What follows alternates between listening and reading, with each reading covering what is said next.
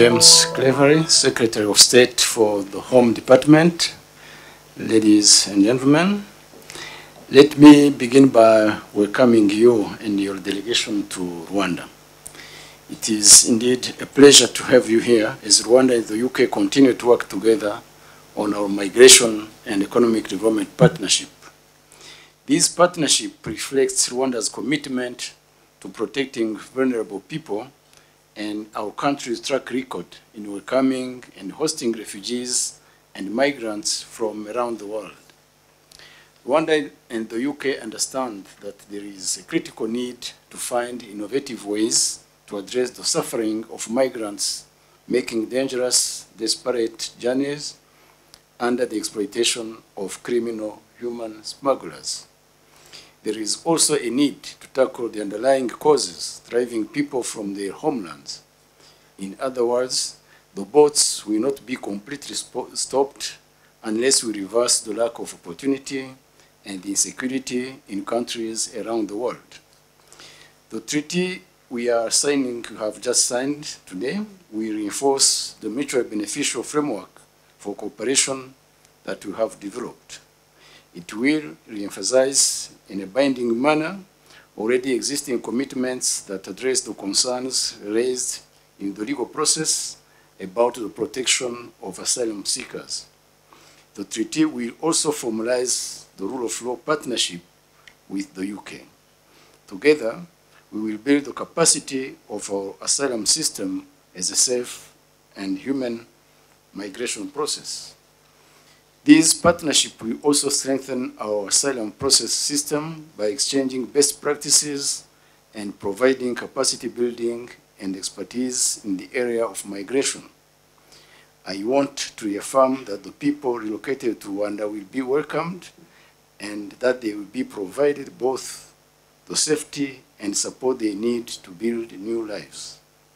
Rwanda looks forward to further strengthening the cooperation with the United Kingdom and to implementing this treaty.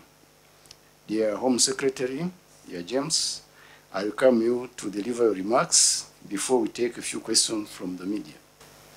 Uh, Foreign Minister um, Vincent, thank you for welcoming me and my delegation here to Rwanda. Uh, you and I have had the opportunity to work in the past in my former capacity as the UK's uh, Foreign Secretary and in all our dealings, uh, I have always found both you personally uh, and your government to be uh, professional, thoughtful, and serious partners on the world stage. And I think this is exemplified by the Migration and Economic Development Partnership that we have uh, developed over recent months and which we now strengthen and enhance through this uh, treaty. As you have said, Rwanda has now established a strong reputation for the humane and uh, professional administration of uh, refugees and uh, migrants. This is something uh, understood by the UK and um, the multilateral uh, community. The treaty that we signed today builds on that joint work it takes the uh, positive professional attitude that you and your government display and allies it with the uh, work that the UK is doing uh, to ensure that we break the business model of those evil people smuggling uh, gangs. We want to make sure that people can live in safety and prosperity. And that is why, in addition to the uh, migration element of this partnership, the economic development part is incredibly important. We recognize that people will uh, understandably move away from uh, conflict and from famine, and therefore it is in all our interests to address these long-term drivers of mass migration.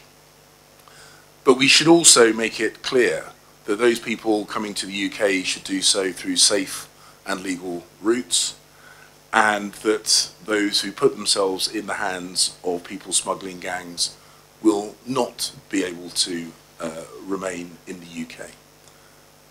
But your country has made a clear and unambiguous commitment to the safety of uh, people who come here. Uh, that has been uh, displayed and we have seen that in practice. You've also made a strong commitment to work with the UK and international partners in order to uh, make sure that the robustness of your judicial system uh, is clearly on display. And we are very proud to be a long-standing partner in that uh, endeavour. This bilateral relationship today, this meeting today, uh, is of course marking a, a, particularly important part of our bilateral relationship. But I would also like to take this uh, opportunity to expand upon the, uh, the work that we are doing together in terms of uh, your tourism, in terms of your agricultural sector, and in terms of your country's uh, wider economic development. Rwanda has shown itself to be a, a strong and important partner to the UK. I'm very proud that this treaty today amplifies that uh, relationship and I'm very much looking forward to continue working with you in my new role as Home Secretary. Uh, the UK has been working with uh, Rwanda not just as a Commonwealth partner uh, on a range of issues which I alluded to in my opening remarks, but specifically on the um, uh, on the on the migrant and economic development uh, partnership, migration and economic development partnership. Throughout the time that we've been working with the Rwandan government, they have shown an energy and a professionalism and uh, a desire to um, uh, to work in a collaborative partnership way uh, with the uh, with the UK. Um, and, and I've also, in my previous role as Foreign Secretary, seen that displayed across a number of uh, other bilateral uh, issues uh, as well. Of course, we want to uh, see this, uh, this part of our wider migration plan up and running as quickly as uh, possible. We feel very strongly that this treaty addresses all the issues raised by their lordships in the Supreme uh, Court, and we have worked very closely with our Rwandan partners to ensure that uh, it, uh, it does so. Uh, I cannot see any uh, credible reason why Rwanda's track record um, as, a, as a partner, including as a partner for the ECHR, long-term partner for the ECHR, bearing in mind the ECHR um, I think sent 165 uh, refugees to Rwanda the day following the Supreme Court judgment. So they clearly regard Rwanda as a, a credible long-term partner, just as we do. So I really hope that we can now move quickly. We've addressed the, um, uh, the issues that were raised uh, by their lordships in this treaty, and that will be reflected in domestic legislation soon, because we are absolutely committed to breaking the business model of these people smuggling gangs, to create a, self and uh, a safe and welcoming environment with our friends and partners here in Rwanda, but also making sure that mass migration is, is well managed into the future. Uh, let me say that uh, Rwanda's commitment is driven by our belief in what is right uh, rather than seeking external validation or praise. And Rwanda is uh, proud to be part of a solution to a global crisis that is uh, the migration crisis. And uh, it is crucial to recognize that uh, uh, the UK Supreme Court's reliance on speculative concerns rooted in UNHCR criticisms contradicted the UNHCR's on previous expressions of expression of appreciation for Rwanda's inclusive refugee policies. So it begs the following question. Uh, how did we go from model to dangerous country in just four short years? And how much of this perception is linked to internal UK politics? This being said, I would say that there is always a room for improvement to any system designed by human beings, Rwandan or British.